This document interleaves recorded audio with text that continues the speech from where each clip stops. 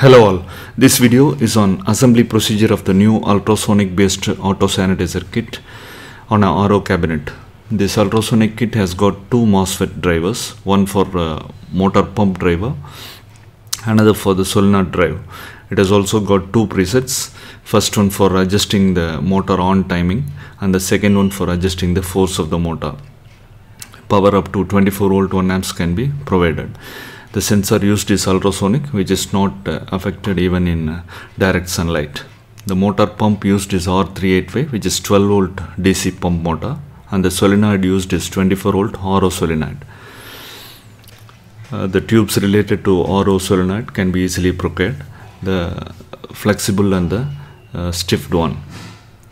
It can be directly plugged onto the solenoid.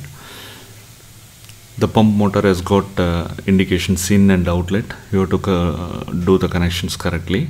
A nozzle, uh, brass nozzle or a plastic nozzle can be used. This is the RO cabinet, 8 liter, easily available.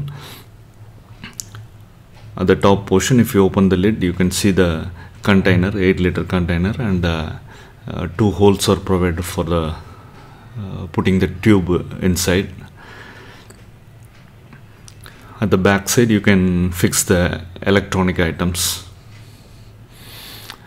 You have to put some holes one for the DC socket. On the bottom you have to put uh, a hole for uh, fixing ultrasonic sensor and nozzle. First fix the control board. That is a, a PIC microcontroller uh, control board. And then provide the DC socket and then connect the ultrasonic sensor to the control board using the ready made connector. Fix the ultrasonic sensor to the hole we have made now. And the nozzle can be connected at the to the bottom. Uh, brass nozzle and as well as plastic nozzles are available. Now fix the R385 pump motor using clamp.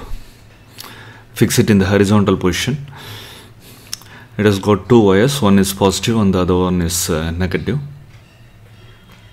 Then fix the solenoid. That is a solenoid is 24 volt solenoid. You can fix it easily to the side of the cabinet or to the bottom of the cabinet.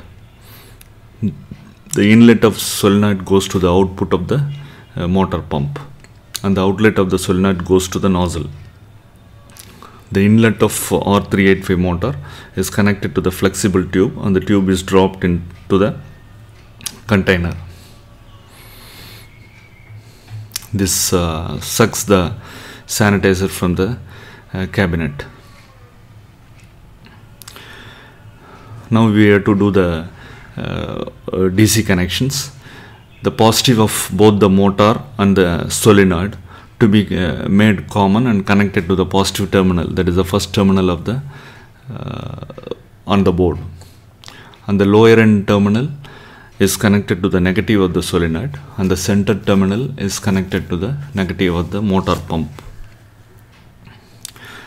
You can use 24 volt 1 amps adapter as the solenoid we are using is 24 volt. Provide the power source.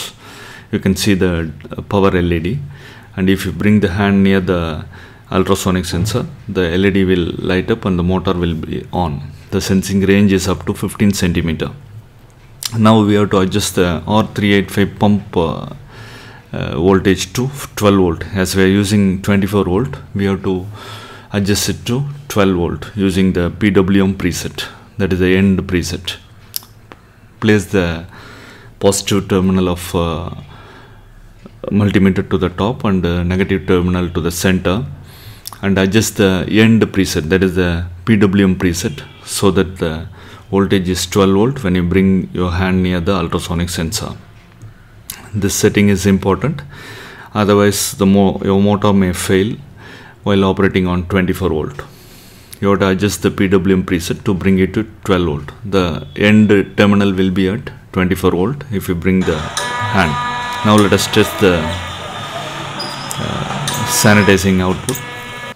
When you bring the hand near the uh, ultrasonic sensor the motor will be on and you can get a get the dispenser. Let us change the nozzle to the plastic uh, spray nozzle. You can get a spray nice mist spray. You can adjust the uh, timing using the first preset keep the uh, preset to the low condition so that the on time is very less. And uh, you can use a stiff uh, tube to the motor. And the solenoid can be fixed uh, at the bottom of the cabinet. And the nozzle to be provided directly to the solenoid. These steps will control the amount of uh, sanitize uh, dispensed and save the sanitizer. Thank you for watching